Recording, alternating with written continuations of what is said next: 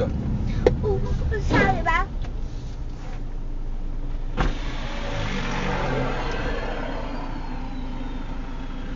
mẹ ba nó đâm vào mình dưới nhỉ như là chưa đâu. đâm vào kia thôi. Từ từ xe này từ từ bây giờ